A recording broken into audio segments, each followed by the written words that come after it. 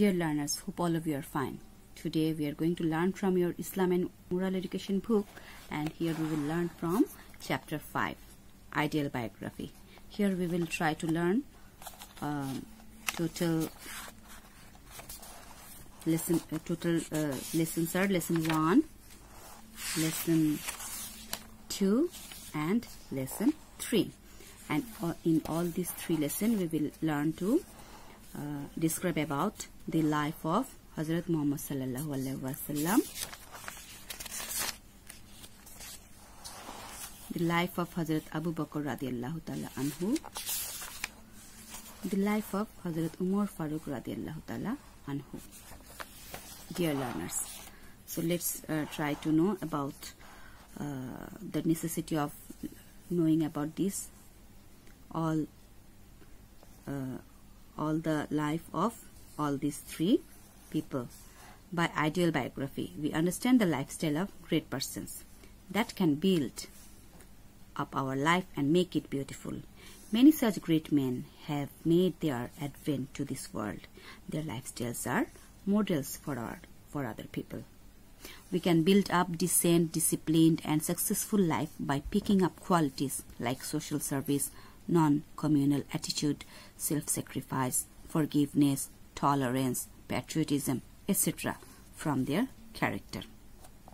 So, in this chapter, we need to know about the biography of great men like Hazrat Muhammad sallallahu alaihi wasallam, Hazrat Abu Bakr radiallahu anhu, Hazrat Umar Farooq radiallahu anhu to build our life as Allah has told us to lead. And at the end of this chapter, we'll be able to explain the features of an ideal biography, describe the identity, honesty, truthfulness, social duties, pacifism, democratic values, and other good qualities of character of the great Prophet Hazrat Muhammad sallallahu alaihi wasallam. Describe the identity of Hazrat Abu Bakr radiallahu anhu and his contribution to the charity, sacrifice, and good governance. Mention the contribution of Hazrat Umar Farooq anhu to establish equality, democratic consciousness, patriotism, and rule of law, and so on. Now, let's come to lesson 1 the life of Hazrat Muhammad sallallahu alaihi wasallam. Here we know about the condition of Arabs his birth and identity, characteristics of the great prophet and the predictions of priest Buhaira. The great prophet Wasallam's role in establishing peace. The Nabuat and the reaction of the people of Arabia. And so, we will learn about the life of Hazrat Muhammad sallallahu alaihi wasallam and different stages of his life. In his uh, in his time, at the time of the Prophet sallallahu alaihi wasallam's birth, the condition of Arabia was horrific and notorious. The people of that place were involved in various kinds of sin. They used to worship gods and goddesses instead of one Allah the whole of Arabia was engrossed in barbarism and worship of nature. Although they were quite advanced in poetry, music, and oratory, they had fallen behind in morality. There was human trading in the markets. Human trading মানে তখন মানুষকে পশু পাখির মতো মার্কেটে বেচা কেনা করা হতো the lives of the slaves dependent on the whims of the masters who tortures them inhumanly. Except for a few exceptions, women had no social rights or dignity. সে সময় অল্প কয়েকজন বাদে মহিলাদেরও সমাজে কোনো সম্মান ছিল না মর্যাদা ছিল না even tender girls were buried life এমনকি অল্প বয়সী মেয়েদেরকেও মাটিতে পুঁতে ফেলা হতো under such circumstances Allah has sent Allah sent Hazrat Muhammad wasallam to guide men to the right path. Many prophets and messengers had come to the earth before him, our Prophet wasallam was the last to come. He is the last and the best prophet, the prophet for the whole world. তাহলে পৃথিবীতে যখন এত অনাচারে ভরে যাচ্ছিল ভরে গিয়েছিল সে সময় আল্লাহ শেষ নবী হজরত মোহাম্মদ সাল্লাহ আল্লাহামকে পাঠালেন যিনি হচ্ছেন সবচেয়ে শেষ নবী এবং সবচেয়ে সবচেয়ে সর্বোত্তম নবী, আল্লাহর প্রেরিত সকল নবী এবং রসুলগণের মাঝে। তার জন্ম হয়েছিল twenty April five hundred seventy AD he was born in Mecca on the twelfth of Rabiul Awal His father's name was Abdullah and mother's name was Amina. His father Abdullah died when Hazrat Muhammad sallallahu alaihi wasallam was in his mother's womb. After his birth, he was named Muhammad and Ahmed. ছোটবেলা থেকেই তিনি পিতার ভালোবাসা ছাড়া বড় হয়েছেন কেননা তার জন্মের আগেই তার পিতা মারা গিয়েছিলেন কিন্তু তারপরও তার তার বেড়ে ওঠা তার ছোটবেলাটা তিনি অত্যন্ত যত্ন এবং ভালোবাসা দিয়ে বড় হয়েছেন এবং সেটি তার পাঁচ বছর বয়স পর্যন্ত তিনি তার দুধমা হালিমা এবং যিনি ছিলেন বনি ইসরায়েলের গোত্রের অন্তর্ভুক্ত, তার কাছ থেকে তিনি অনেক স্নেহ ভালোবাসা নিয়ে বড় হন। আফটার দ্যাট মোহাম্মদ সাল্লাহ return to the lap of his mother Amina এবং এরপরে তিনি তার মায়ের ফিরে আসেন, যেখানে তিনি আরও অনেক ভালোবাসা এবং স্নেহের স্নেহের বন্ধনে আবদ্ধ হন। কিন্তু তার মায়ের ভালোবাসা তার ভাগ্যে বেশি দিন থাকল না। যখন তার বয়স ছয় বছর, সে সময় তার মাও তাকে ছেড়ে পৃথিবী থেকে চলে যান। এবং এই অল্প বয়সে তিনি যখন তার পিতা মাতাকে হারিয়ে ফেলেছেন, সে সময় তিনি অনেক একা এবং অসহায় হয়ে গেলেন। তখন তাকে তার দাদার কাছে, আব্দুল মোতালিবের কাছে তাকে দেখাশোনা তাকে তার দায়িত্ব নেওয়ার জন্য তাকে তার কাছে তিনি আসলেন এবং when he was eight years old his grandfather passed away কিন্তু তার যখন আট বছর বয়স, সে সময় তার দাদাও মারা গেলেন। Then he continue to be brought up by his uncle Abu Taleb এবং এরপর তিনি বড় হতে লাগলেন তার চাচার পরিবারে। আবু তালিব তার নামে তার চাচার পরিবারে। হুস ফ্যামিলি ওয়াজ ইন ওয়ান্ট যেখানে তার পরিবারেও অনেক অভাব অনটন ছিল। তার ছোটবেলাতে তাহলে দেখো, তিনি পিতৃ মাতৃহীন হয়েছেন খুব অল্প বয়সে। দাদার কাছে ছিলেন, তাকেও হারালেন এবং সবশেষে তার চাচার কাছে বড় হতে লাগলেন। He use to help his uncle in his business and tent ship all the good qualities were manifested in his character কিন্তু দেখো, এই অল্প বয়সেও কিন্তু তিনি তার মধ্যে সব সৎ গুণের প্রকাশ পেতে লাগল এবং তিনি পিতৃমাতৃহীন হলেও তার মধ্যে কিন্তু তিনি কিন্তু কোনো খারাপ, কোনো আচরণ, কোনো ব্যবহার কিন্তু কারোর প্রতি প্রদর্শন করেননি। এবং তিনি যখন একবার তার চাচার সাথে সিরিয়ায় গেলেন, তখন তার বয়স হবে বারো বছর বারো বছর দু মাস। দশ দিন সে সময় তার বয়স, সে সময় তাকে দেখে, তার আচরণ দেখে একজন খ্রিস্টান পাদ্রী বহিরা নামে তার আচরণ দেখে তাকে বললেন যে, এই এই মানে এই অল্প বয়সের হজরত মোহাম্মদ সাল্লাহ আলাইসলামী শেষ এবং সবচেয়ে সেরা আল্লাহর প্রেরিত প্রেরিত রসুল রসুল হবেন। মানে তার সম্পর্কে একটা ভালো ভবিষ্যৎবাণী করেছেন, যেটা আসলে পরবর্তীতে দেখা কিন্তু সত্যি হয়েছিল।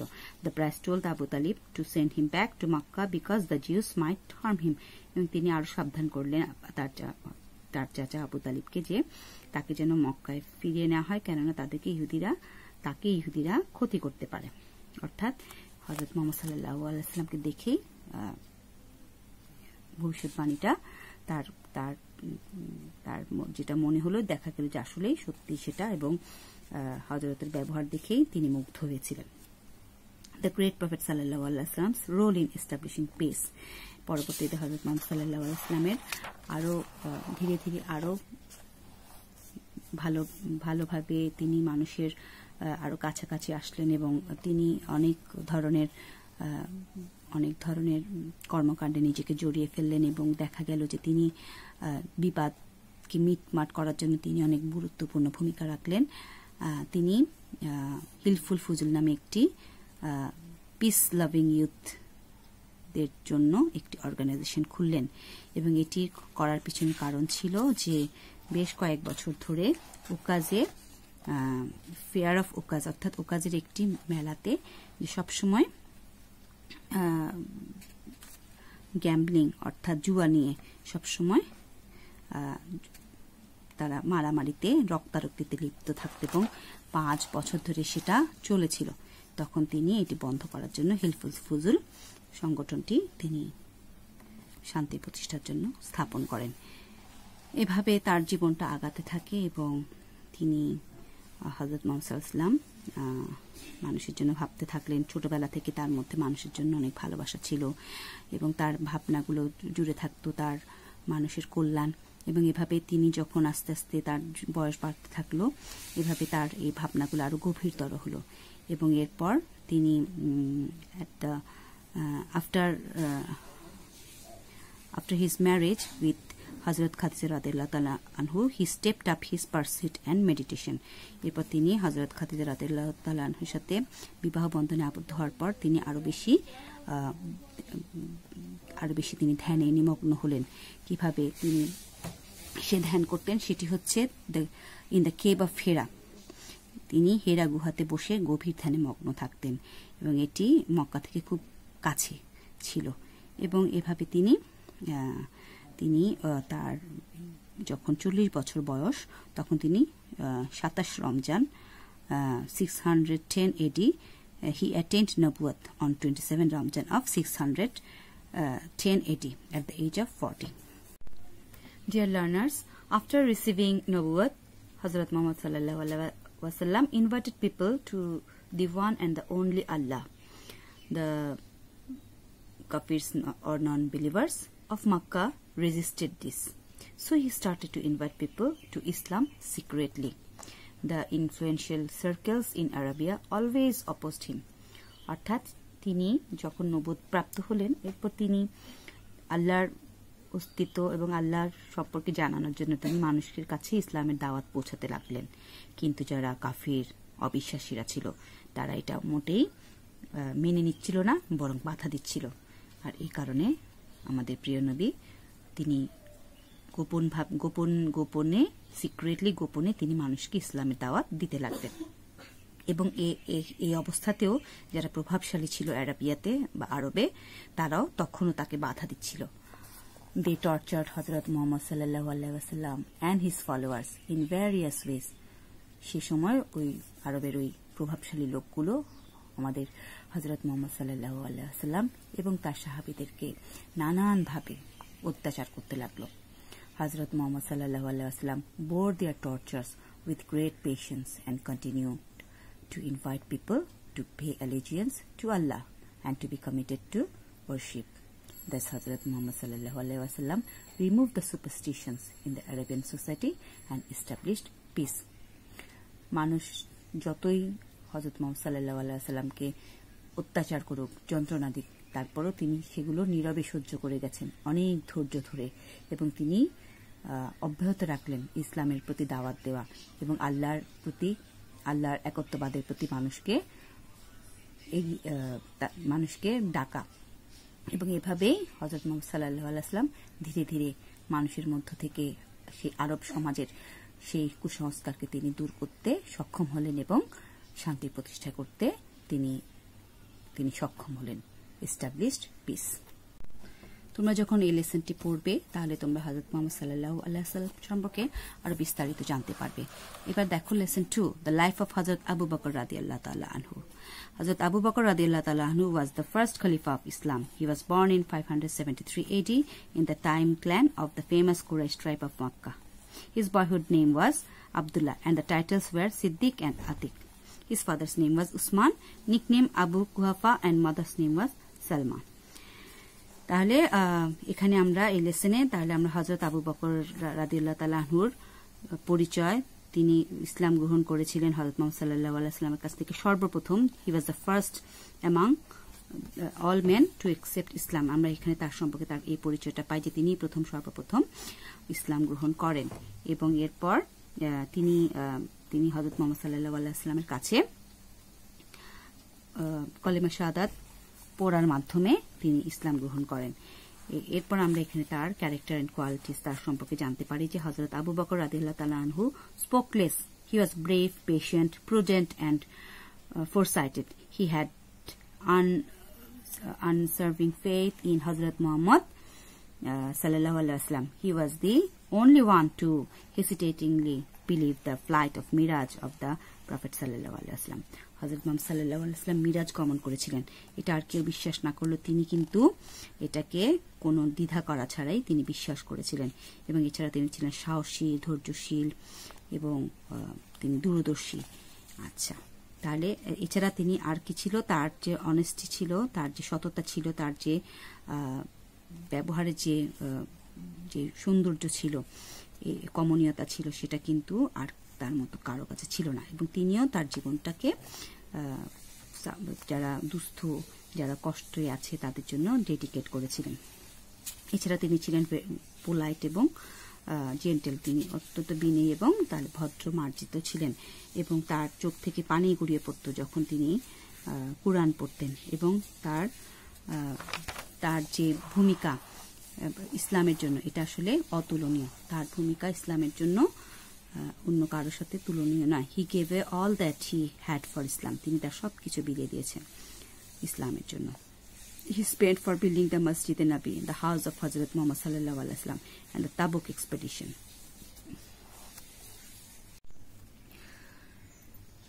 তাহলে আবু বকর রাদিয়াল্লাহু তাআলাহু তার জীবনের অনেকটুকু সময় হজরত মোহাম্মদ সাল্লাহ আলাইস্লামের সাথে ছিলেন এবং তিনি নানানভাবে হজরত মোহাম্মদ সাল্লাহ আলাইস্লামের সাথে সাথে হিসেবে থাকলেন।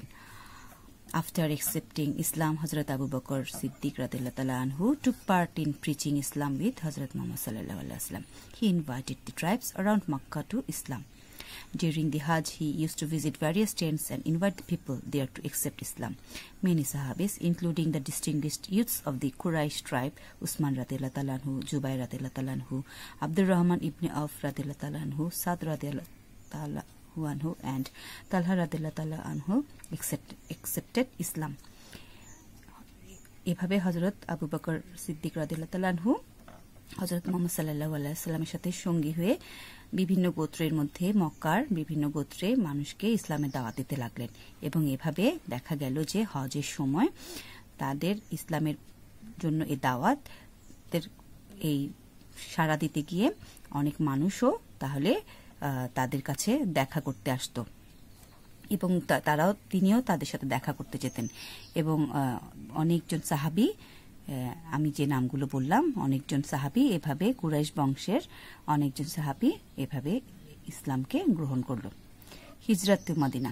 হজরত Abu Bakr Siddique রাদিল্লাহু was the companion of Hazrat Mohammad সাল্লাহ আলাইসলাম এট দ্য টাইম অফ হিজরত এবং আমরা আরও জানতে পারি কি, তাহলে হজরত আবু বকর সিদ্দিক রাদিল্লাহ তালাহু হিজরতের সময়ও হজরতের সাথে ছিলেন এবং তারা যখন হিজরতের জন্য তারা যখন মদিনায় যাচ্ছিলেন, মাঝখানে তাদের সাথে তাদেরকে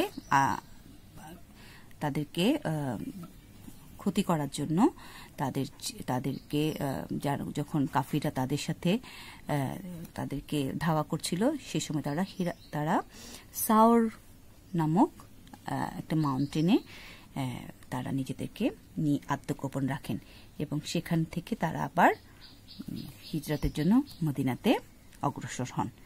ইলেকশন অ্যাজ আ খলিফা। পরবর্তীতে হজরত মোহাম্মদ সাল্লাহ আল্লাহামের মৃত্যু হলো এবং এরপর হজরত উমর রাতিল্লা তালাহু এবং অন্যান্য সাহাবিরা মিলে হজরত আবু বকর রাতিল্লা তালাহুকে ইসলামের প্রথম খলিফা হিসেবে, eight June six hundred thirty two AD he was selected as the Khalifa of the Muslim world অনেক সমস্যা আসলো যেগুলোতে মুসলিমরা হজরত মোহাম্মদ সাল্লাহ আলাইস্লামের মৃত্যুর পর তারা নিজেদেরকে নবী হিসেবে, নিজেদেরকে মিথ্যাভাবে, নিজেদেরকে প্রমাণ করতে লাগল, নিজেদেরকে পরিচয় দিতে লাগল এবং তারা তারা জাকাত দিতে অস্বীকার করতে লাগল, তারা ইসলামের থেকে সরে আসতে লাগল। তখন হজরত আবু বকর আদিল্লাহ তালহু controlled all this anarchies with iron handed and established peace তিনি দৃঢ়ভাবে, শক্ত হাতে তিনি এইসব অনাচারগুলো দূর করলেন এবং আবার শান্তি প্রতিষ্ঠা করলেন। The battle of Yamama started in Uh, 333 AD. In this battle, many Hafiz and Qari became martyrs. At this time, he instructed Jaid ibn Sabit to collect and preserve the verses of the Holy Quran. Having been commanded, Zaid bin Sabit Radhiallahu collected the verses of Quran written on barks of trees, bones, and hides of animals as well on smooth stones. এই সময় হজরত আবু বকর রাদিয়াল্লাহু তাহলে কি করলেন? কোরআনের যত রকমের লেখা ছিল বিভিন্ন বিভিন্ন জায়গায়, সব জায়গা থেকে তিনি সেগুলো তার তার কাছে এনে দেওয়ার জন্য তিনি জায়দ বিন সাবিত রাজুকে নির্দেশ দিলেন এবং সেভাবে তিনি এগুলো সব কিছু সংগ্রহ করে নিলেন। এরপর হজরত আবু বকর রাজু মারা গেলেন টোয়েন্টি থার্ড অগস্ট এবং এই সময় তার বয়স হয়েছিল সিক্সটি থ্রি এবং এই সময় তাকে তার he was buried in the room of Hazrat আয়সর আদিল্লা তালাহু বিসরাইট বিসাইড হজরত মোহাম্মদ সাল্লাহ আল্লাহাম ইন মদিনা এবং তাকে কোথায় কবরস্থ করা হলো? ঠিক যেখানে হজরত মোহাম্মদ সাল্লাহ আল্লাহ আল্লাহামকে কবর দেওয়া হয়েছিল, সেখানে, তার পাশে। আফটার দ্য ডেথ অফ রসুল সাল্লাহ ওয়াসাল্লাম হজরত আবু বকর রাদিল্লাহ তালাহু played an extraordinary role in safeguarding Islam. His ideals are worth following and emulating for every human being. তাহলে আমরা দেখতে পাচ্ছি হজরত আবু বকর তালানহু অত্যন্ত অত্যন্ত সুন্দর দৃষ্টান্তমূলক ভাবে তিনি ইসলামকে রক্ষার জন্য ভূমিকা রেখে গেছেন এবং এটি হজরত মোহাম্মদ সাল্লাহ আল্লাহামের মৃত্যুর পর তার এই ভূমিকাটা তিনি রেখেছিলেন now lesson three life of Hazrat Umar Farooq রাদিয়াল্লাহ তালানহু Hazrat Umar Farooq anhu was the second Khalifa of the Muslim world. He was born in an ancient clan of the Quraysh tribe.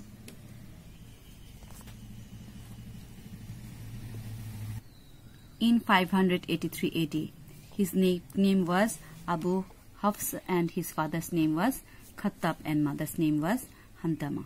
He was given the title Farooq, the distinguisher of truth and falsehood. After accepting Islam, in his boyhood, he tended camel. In his early youth, he was expert in warfare, wrestling, oratory, and family trees.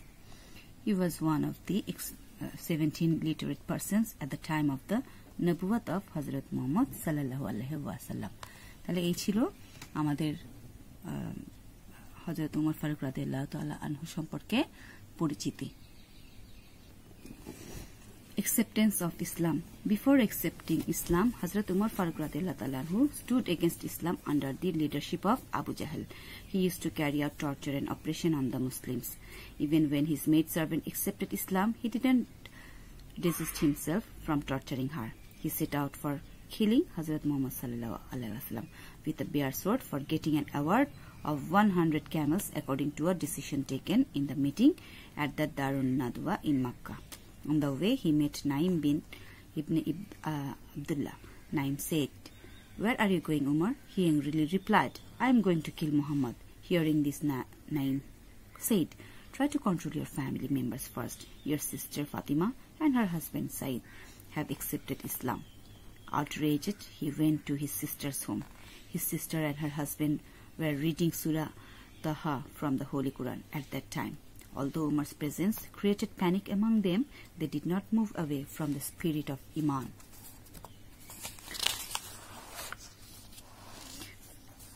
On being questioned by Hazrat Umar radiallahu ta'ala they informed him to reciting from the Quran.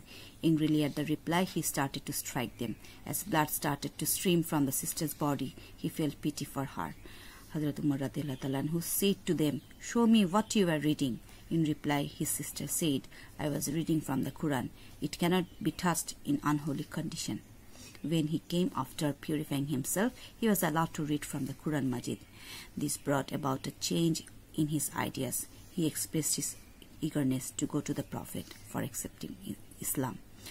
At the time, the Prophet ﷺ was staying at the house of Hazrat Ar Arqam anhu at the foot of the Safa hills. Hazrat Umar anhu appearance with a bare sword in his hand created panic among the Sahabis. Hazrat Umar anhu fell at the feet of the Prophet and with a trembling voice said, O the Prophet of Allah, teach me in Islam. The sword with which I started for chopping off your head will be used for killing the enemies of Islam at the hands of Umar. Hazrat Umar who accept Islam from Hazrat Muhammad. Basically, his acceptance of Islam was the result of a supplication of Hazrat Muhammad wasallam. The Prophet wasallam prayed for him, saying, "O Allah, create the willingness in either Umar ibn Hisham, Abu Jahl, or Umar ibn al-Khattab to accept Islam and strengthen it."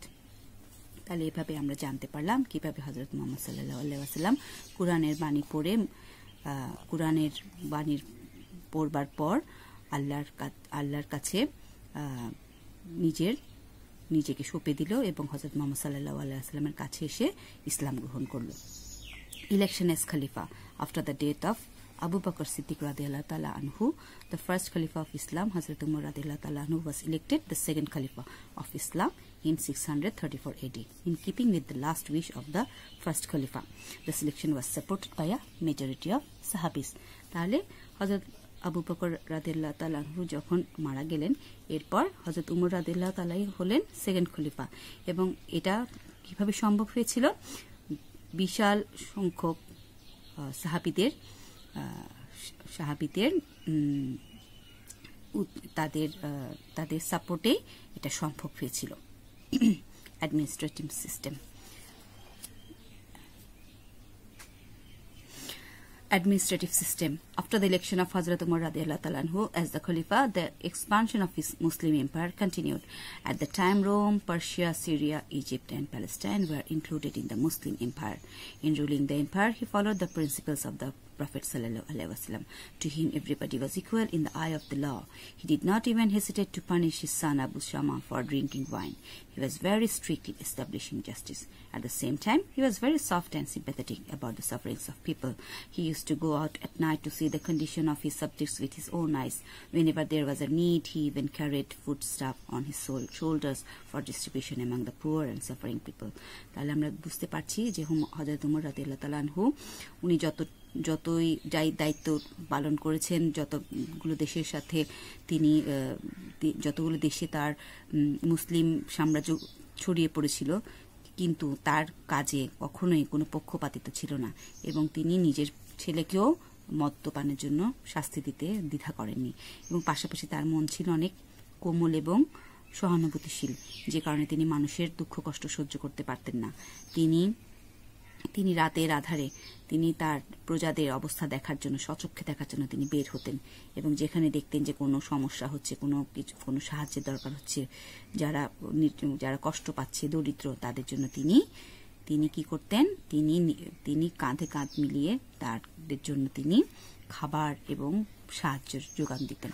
এই ছিল তাহলে আমাদের আমাদের ইসলামের দ্বিতীয় খলিফা হজরত উমর রাদিয়াল্লাহ তালা আনহুর শাসন ব্যবস্থায় তার মানুষের জন্য তার সহানুভূতিশীল মনোভাব। His qualities. Hazrat Umar radiallahu who used to lead a very simple life. In spite of being the ruler of half of the world. He had no bodyguard and a seat of date leaves was his throne. Service was his motto of life. Most of his time was passed in worship. Worldly greed and glamour didn't touch him. There was a wonderful combination of sternness and tenderness in him. তাহলে কি জানলাম আমরা যে পৃথিবীর প্রায় অর্ধেক হজরত Umar রাদিল্লা তালাহুর অধীনে ছিল। তিনি শাসক ছিলেন, কিন্তু তার কাছে কোনো দেহরক্ষী পর্যন্ত ছিল না। এমনকি খেজুর গাছের তলায়, খেজুরের পাতায় ছিল তার সিংহাসন এবং তিনি কাজ করে যেতেন এটে ছিল তার জীবনের লক্ষ্য এবং তার অধিকাংশ সময় তিনি আল্লাহর কাজে তার ইবাদত ধ্যানে মগ্ন থাকতেন এবং পৃথিবীর কোনো কোনো লোভ, কোনো জৌলুস তাকে কখনো তাকে স্পর্শ করেনি এবং এভাবেই ছিল তিনি কোমল এবং কঠোরে জড়ানো একটি একটি ব্যক্তিত্ব। In the tenth year of the glorious rule of Hazrat Umar রাদিল্লা তালা হু হি ওয়াজ পারফর্মিং দ্য সালাত অফ ফজর in Masjid Nabi one morning at the time he was seriously injured by a stab from a poisonous dagger of Lulu a servant of হুফাস ruler Mughira. On the third day of his injury, Hazrat Umar who accepted martyrdom on Wednesday, 3rd November 27th Jilhaj of History 23 at the age of 63. Hazrat Ibn Masud who said, I have a feeling that when Hazrat Umar who left the world, he took with him nine tenth of knowledge or ilm. We shall follow the great ideals of Hazrat Umar and build our lives accordingly. তাহলে dear learners দেখো তাহলে কি সুন্দরভাবে হজরত উমর রাদিল্লাহু তার জীবদ্দশায় ইসলামের জন্য কাজ করেছেন এবং শেষে শত্রুর হাতে তিনি মারা গেলেন।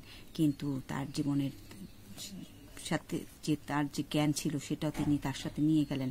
এবং এভাবে আমরা তাহলে দেখতে পারি যে কীভাবে তিনি তার সারা জীবন ইসলামের জন্য কাটিয়েছেন এবং কীভাবে তিনি তার জীবনে সত্য এবং মিথ্যার পার্থক্য করে তিনি তিনি ভালো কাজটাকে তিনি অব্যাহত রেখে গেছেন। তাহলে তার জীবন থেকে আমাদের অনেক কিছুই শেখার আছে এবং আমরা সেভাবেই চেষ্টা করব। ডিয়ার লার্নার্স তোমাদের কাছে আমার একটি প্রত্যাশা থাকবে। আজকে আমি lesson one two and three যেগুলো পড়ালাম, সেগুলো তোমরা খুব মনোযোগ দিয়ে পড়বে এবং এখানে ছোট ছোট কোয়েশ্চেন হতে পারে, বড় কোয়েশ্চেনও হতে পারে। তোমরা সেই জন্য প্রত্যেকটা লাইন ভালো করে পড়বে এবং যেন টু দ্য পয়েন্ট অ্যান্সার করতে পারো সেইভাবে তৈরি হবে। সকলকে অনেক ধন্যবাদ।